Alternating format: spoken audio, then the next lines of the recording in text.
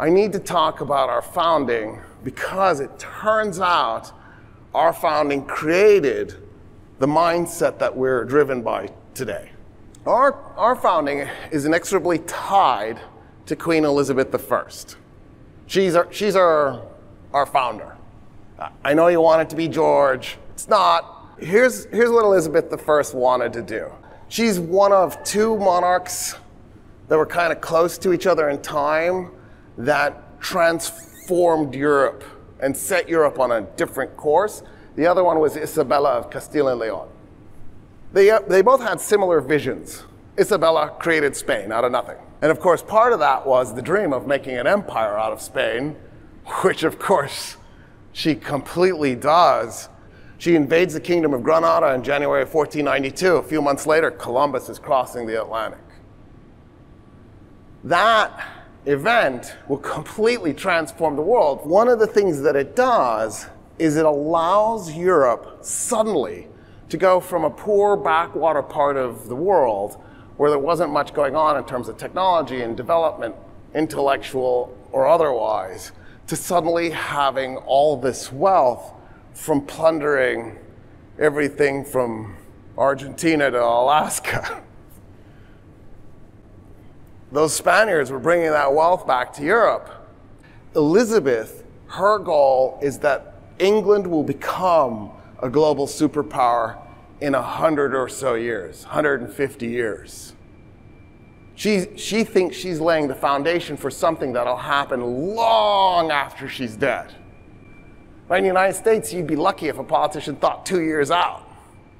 Elizabeth has a problem. Her problem is England doesn't have anything worth trading for. I mean, it, it has wool, but this wool isn't like the wool back then because we now know how to make it better. And we can wash it now.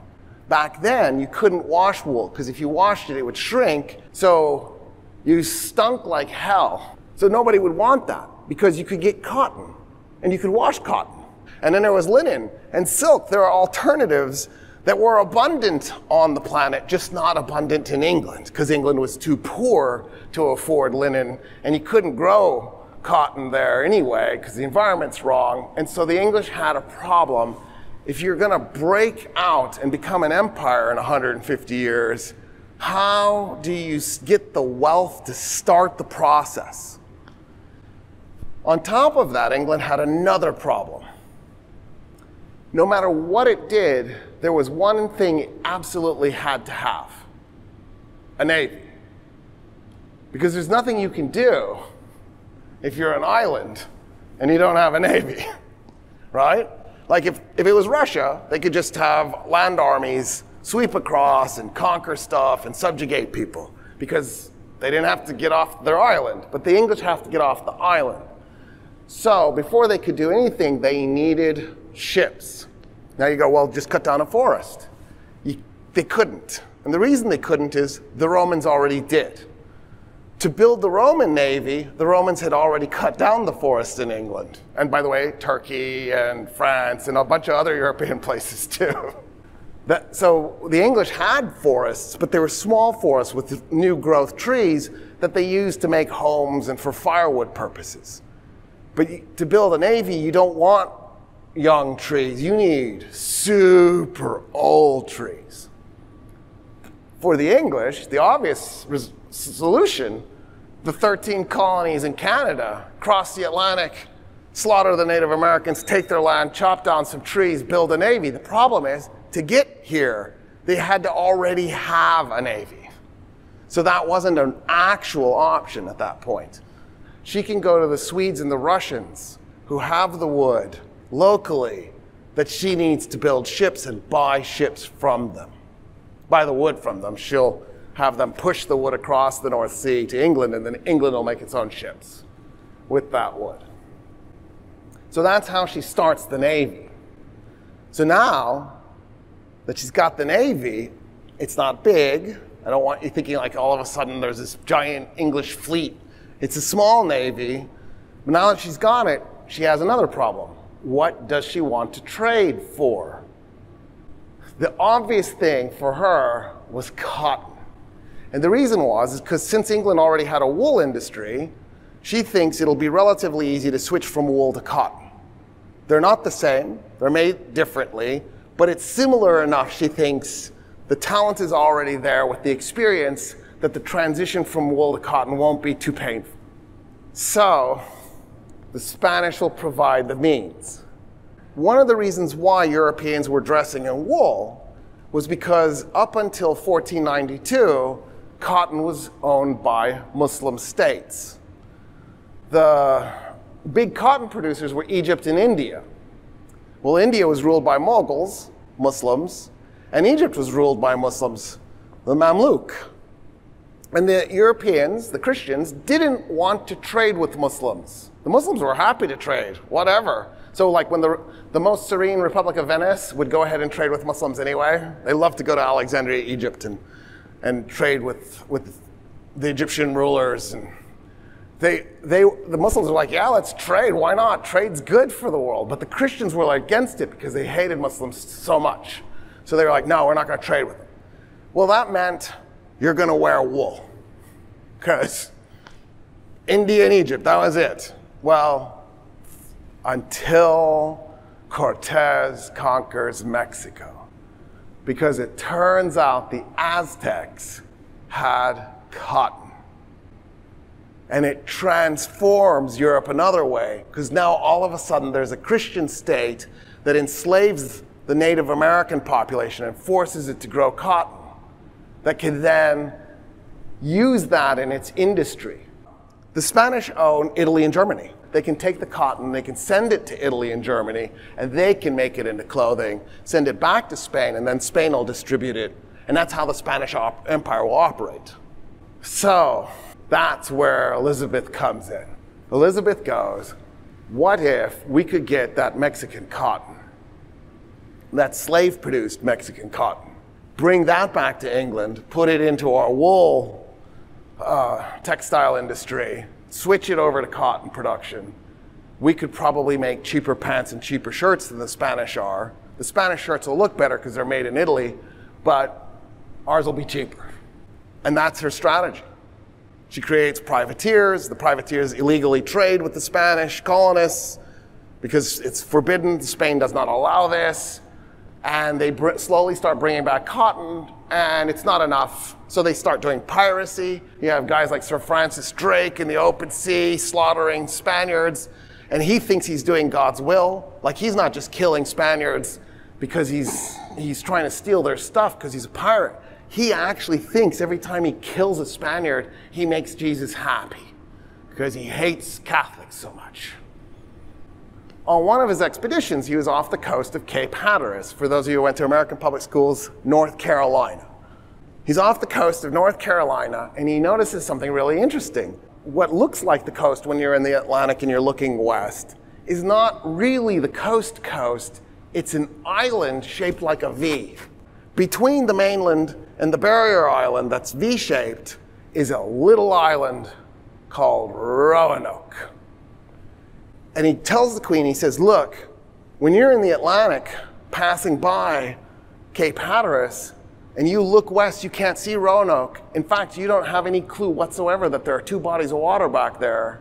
I say we set up a secret base on the island so we can make our tr- illegal trades with the Spanish colonists more efficient. And she goes, It's genius, let's do it. So in 1587, that's what they do. They send the Roanoke colony. The next year, the English pull off a miracle and sink the Spanish Armada. It's just gone. 95% of the Spanish Armada goes to the bottom of the ocean. Should not have been doable. The English were outnumbered. Were, the Spanish ships were better. The Spanish Marines were better. The Spanish had every advantage, and the English prevailed. There is a lesson in that. Stop being arrogant, is the lesson. Anyway, long story short, they forget about Roanoke because they're so excited about sinking the Spanish Armada, they don't go back there until the colony is already abandoned. The English will try a second attempt. It's called Carolina. Well, that's not a long story, but I'll save it for another time. They're never heard from again. That's all you need to know. We found it in 1990. They were apparently just drunk out of their minds. They somehow sailed between the Bahamas, sailed between Cuba and Florida, and didn't notice any of it, and ended up so off course, they ended up in downtown Houston where they died. So, oops. that was the 1590s. The English will try again in 1607. It's their third attempt. The Queen died in 1603 so this is King James I, the, her handpicked successor. Jamestown. So the people who go to Jamestown are different than the people who went to Roanoke and Carolina. One thing, it's just men to Jamestown. But it's a special type of man. They were most, I don't know if mostly is the right name, they were largely from the noble class. They were privileged men. Their goal was to come to the Virginia colony, carve out a chunk of land, walk around, look for gold. They thought the Spanish found so much gold, surely the gold is everywhere. Take that gold, send it back to England, get themselves a mail order bride, of course, and peasants. And then they would become the new nobility for this new chunk of land that was with peasants farming in their name. And then they would send their goods back to Europe to be, for trade purposes. The problem is, Jamestown was a disaster. Not only do they have starvation, uh, not only do they have cannibalism, look up Jane. One of the reasons it's a disaster, the primary reason it's, well, there's two reasons it's a disaster. One is the, the men who went were spoiled brats. They couldn't carve out a country from a chunk of land. They didn't know what work was. They were too privileged. They're walking around with their blunderbuss, shooting Bambi and Thumper, eating nuts and berries, trying to find gold so that they could bring people over to do the work for them. That's not how you do this. And so at the end of the day, the population of people who went to Jamestown set it up for the disaster. The other problem was there's no gold. They're on the wrong side of the continent. They needed to be in California or Nevada or Colorado, but not Virginia. Oops, missed. Landed in the wrong place. Well, but there will be gold because after John Smith stabilizes the colony by doing a military coup and forcibly taking over turning everybody into a member of the commune so that everybody has to grow food after the famine because I think they lost half the colony. And he's like, dude, that sucked. All right, here's how it's going to go. From now on, you'll follow my orders. or I'll just beat the shit out of you. And the next thing you know, everybody's complying with this tyrant. And then after like, I don't know, six, seven years, he's like, screw this, I'm not rich. There's no gold here. He gets on a ship and heads out. John Rolfe figures it out. He figures out how to make tobacco something you can market to a large population. Up until John Rolfe, you could get tobacco. The problem was is it wasn't processed, it wasn't cured, which meant every time you took a puff, you'd cough. He figured out how to make it smooth. So yeah, maybe in the beginning when you're first learning how to smoke, you cough, but after a while you don't cough anymore. And, and this may be even more important, to create a consistent flavor. The English now have to ask themselves a question. Here's the question Do we market tobacco intentionally to our own public? This is the 1610s. They're asking this question. Now you go, yeah, but they didn't know how bad it was. They did. Because by the 1590s, even though it wasn't a widespread marketed good, doctors had already been writing treatises saying if you smoke tobacco, it will make you sick frequently and it will shorten your life expectancy. By the 1590s. So when the English in the 1610s are thinking, what do we do now? We have this deadly narcotic that's really addictive that we could market to our own people. It would generate money. The money would flow across the Atlantic to Virginia and then Virginia wouldn't be a giant money pit where we're losing cash every day. Or we can just let the colony fail. They launched an ad campaign to intentionally addict their own population to a deadly narcotic that they knew was a deadly narcotic and became the world's first ever drug dealer empire. Later, they'll upgrade to opium. The reason all of this matters is the following. Think about the prospect of what we're talking about here. So I'm English. I'm poor, rich, middle, who cares? It doesn't matter. I get on a ship. I come to Virginia. If I'm free, they will deed me 40 acres of land. 40 acres of land they don't own. There's a Native American family that owns it. I now have the deed to 40 acres of land that somebody else is using, that is farming. Anyway, I got my blunderbuss, I'm walking out, and I see the family of Native Americans farming that land that's mine. And I take a shot at them, they hear the bang, they run, they fight, doesn't matter. The land will be mine. I will take it from them. There's a crop already in the field, which is great because then uh, come harvest time, I'm already set. And then I just continue to farm the land. All I need to do is get across the Atlantic. The rest is free, well, except for the ammo. In other words, at some level, the colonial settler project that the British unleash in what will become the United States of America was a wealth transfer scheme. There is no greater asset on the planet than real estate. Land you can grow food, land you can build a house, land you can build a factory, land you can find gold, land you can find coal, you can find oil. Land, land, land, land. So to go from having none to suddenly having some with really nothing put into it other than you just happen to be English and you had to commit a little act of violence, that's a remarkable like leap. That's a remarkable jump. But then we added a layer to it tobacco is labor intensive. In other words, yeah, I can grow tobacco as a single person out farming, but I'm putting in a lot of hours. Now, it turns out tobacco at the time, at least, I don't know if it's still true, the tobacco seed was worth more than weight, its weight in gold. So this is going to make me a lot of money. But if I'm a single farmer out there doing this, it's not really going to make me a lot of money fast. It's better than growing yams, it's better than growing wheat, it's better than raising chickens for sure, but it's hard. And then once I have enough money, I'll buy a mule or ox or horse or something. And then once I have enough money, I'll bring over an indentured servant. Three, five year, seven year contract. I have a conflict of interest with my indentured servant. In three, five, or seven years, they're going to get their freedom. I have to give them a gift as I let them go.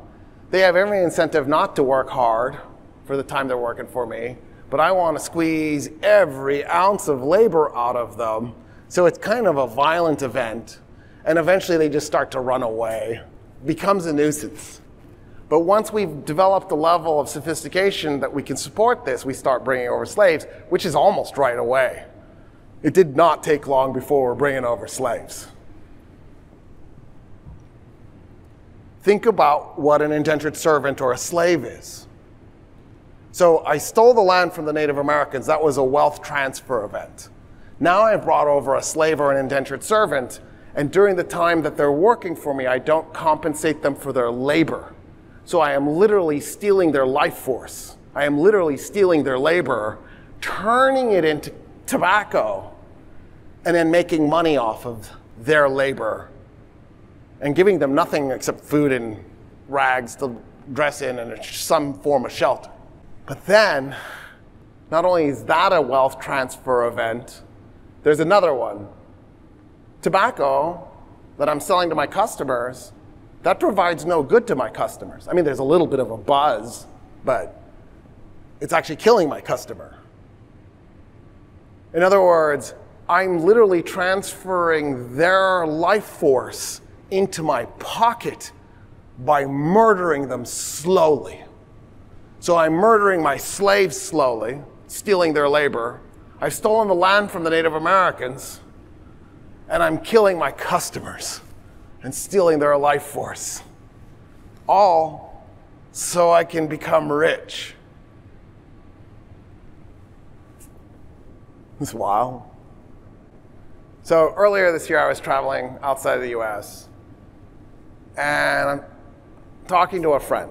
I asked the friend, I said, What's it like doing business with American corporations?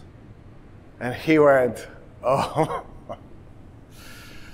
do, yeah, I could tell you. He said, When we do financial stuff, we're like people in the US. We are ruthless, everything is transactional, we're just, just nasty. He said, but we had a really steep learning curve for everything else. He said, because when we're not doing finance, when we're doing business, when we're buying and selling products or services or goods, we have a completely different mindset. And I'm like, oh my God, explain, what do you mean? He goes, okay, so when we're doing a business transaction, we don't see this as a one off event. We see this as the start of a relationship. Our goal is not to create a contract to sell you a good. Our goal is to create a long term relationship where we'll still have interactions in the future. And he said, so what would happen is US business people would come and they'd draw their daggers and they'd negotiate hard for every detail in that contract, like it was life or death. And he said, what we would do is we'd just capitulate to all of it. We'd be like, okay, yeah, we can do that for you. Sure, you want that too? Yeah. And we would just give them the concessions they kept demanding because in our mind, this is the first step in a long term relationship. And next year, when they come back, maybe they won't be so desperate and we'll be able to make a better deal for us. So he said, so we, we take losses just to create the relationship, and then we'd never hear from them again. The contract is signed, gone, done. And he goes, Yeah, so what we've learned is when we deal with Americans, everything is transactional, there's no humanity involved. We don't. We just know we'll never see them again and that they're going to come in and ask the most outrageous, nonsensical things, and we have to bargain really hard. We have to just draw our daggers out and be just as ruthless because there's no long term benefit to any sacrifice we make for that contract. He said, but we don't have that relationship with anywhere else on the planet. He said, when we deal with Europeans, Europeans have long term relationship as their goal. He said, but you know what? There's somebody even more extreme than us and then extreme than the Europeans, the Japanese. He said, when the Japanese come over, they want a relationship to the point where they bring their family and they're going to insist that we invite them to our homes for a home cooked meal, including their family members. And when they come back next year, they expect us to know their children's names. and he said, So we love doing business with Japan because they're like us. We're, we're maybe not quite as extreme, but we're really close. Like that's, that's how we want to do business. It's a family event. We're making a long term relationship that'll last decades. That's how we do business with Europe, with Africa, with Asia, but not US. How did we get there? And the answer is I just told you. The moment we landed, we saw everything as how can I transfer wealth from those people into my pocket? everything became a ruthless transaction where we dehumanize the other side. Think about the cruelty of stealing land from a family that's farming, and then the cruelty of kidnapping a person and dragging them across the Atlantic in chains, where a huge portion of them will just die at sea. And then you stick them into a position where there's no possibility for them to better their lives. They just serve you so that you can steal their labor. To make things even weirder, the, co- the crops we wanted to grow, tobacco and cotton, are also land intensive, not just labor intensive. They wreck the soil and they wreck it really fast. So, if the land, they didn't have the technology to protect the land, it meant we had to go west. The necessity of going west was an was a economic imperative if we're going to maintain the system. This idea that we needed to go to the Pacific was built into the moment we started growing tobacco and cotton because we were wrecking the soil. And so that's what we did. We just kept going west. We'll trigger wars, right? George Washington all but starts the Seven Years' War that lasted nine years and is also called the French and Indian War that kills a million people and is fought in every ocean on the planet and was global. Like there's a land war in Europe. The reason he starts the war is because he wants Kentucky so he can grow tobacco because his family was going bust. They were growing hemp, but they just didn't care to grow hemp. They wanted tobacco. Tobacco is where the money was at. And so they needed to go west. They wanted to get into Kentucky. To end the Seven Years' War, because see, the Brits didn't win it militarily in the beginning. They, they were in serious trouble. They were losing. Queen Elizabeth I's dream was on the verge of ending right then and there. The 13 colonies are going to get wiped out. So the Brits had to make a deal with the Native Americans called the Royal Proclamation of 1763. The Royal Proclamation of 1763 prohibited colonists from crossing the Appalachian Mountains and going west. Well, for those of you who went to American public schools, Kentucky is west. In other words, Washington starts a war to get Kentucky. The Brits don't really win, they, but they do win. They win it by making a deal with the Native Americans that will prohibit Washington and people like him from going to Kentucky. In that moment, they planted the seeds of the revolution. Because in that moment, then, the southern plantation owners are host. How are they going to get to the land that's west of the Appalachians as long as the Royal Proclamation of 1763 is in place? So, they're angry. They start trying to come up with a way to get rid of this royal proclamation. And then the commoners provide them the source. Long story short, commoners are mad because the English Bill of Rights guarantees you representation in Parliament if you're taxed. So George III needs to collect taxes from the colonies, not because England was going to make a lot of money off those taxes. Those taxes were really light. The tea tax is my favorite. Okay, so let's say we do in today dollars, uh, what, five cents per tea bag in tax? How much tea are you drinking? Like if you drink two tea bags worth of tea a day, that's 10 cents a day, that's $36.50 a year.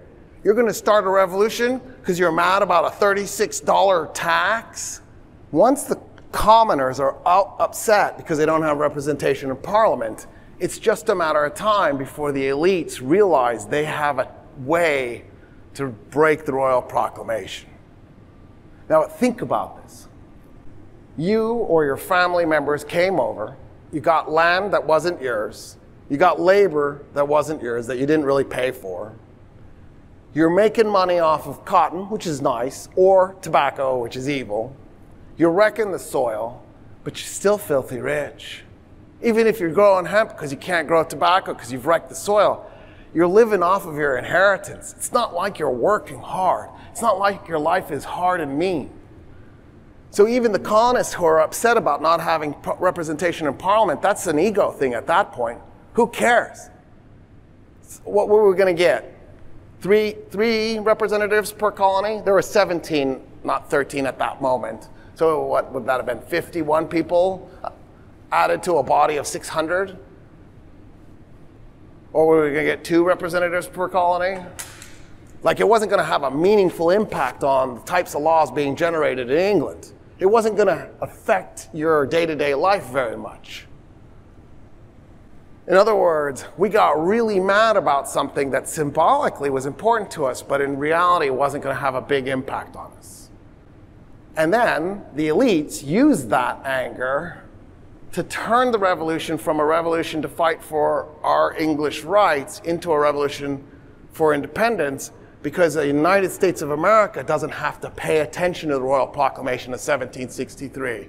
We can cancel it, slaughter the Native Americans, take Kentucky, bring tobacco and slaves over, and begin the process again until we destroy Kentucky. And then I guess we have to move to Missouri and do it to Missouri And then they didn't know how far west they could go because they didn't realize you probably aren't going to grow much tobacco in Kansas. But that was the dream, was to grow tobacco all the way to Alaska and California. Just keep going west, right through the Rocky Mountains. In other words, what we've got now is a transactional society that now views other people as a means for generating wealth, which is, of course, the foundation of capitalism. Instead of seeing another person as a person who's a member of your community, you see the other person as an opportunity to make a profit. And that, of course, creates this transactional society that we've become a part of and that we're familiar with. So there's an irony of all of this. Adam Smith writes The Wealth of Nations. The Wealth of Nations is, right, the book that codifies the birth of capitalism. It's published in 1776. It's not a coincidence. Our birth and the birth of capitalism are inextricably tied together. The way we design the Constitution reflects that. By the time we get through the Constitution, it is clear that our objective, Madison says this, it is clear that our objective is to create a hierarchical society. It was their objective from the beginning. John Locke, the Scottish philosopher who wrote the second treatise on government, the guy who wrote the English Bill of Rights, he's the author of the Constitution of the Carolinas when the Carolinas were being established by royal charter. When he wrote that Constitution, he doesn't just add slavery into it, he made it so that it was all but impossible to ever abolish it. We made it so that we're going to create an electoral republic. Think about the mechanism here. When you run for office, you can be campaign financed. You receive money, and then you take that money and you use it on your campaign to get elected. In other words, if you don't do what your donors want you to do, in two years, they're going to fund somebody else, and that money isn't going to be used by you to get elected. It's going to be used by an opponent of yours to take you out. So at that point now, as a politician, you've become captive to your donors. In other words, what we did by creating an electoral republic is we gave the merchants the reins. We gave the rich the reins because they campaign finance the politicians. And they can take out politicians by campaign financing their opponents. And that became our political system. So the laws that we generated were laws that were generated to benefit the rich by design. Madison says it in a letter to his friend. He says, I designed a constitution that would leave the power in the hands of the rich. Don't worry. Support this thing.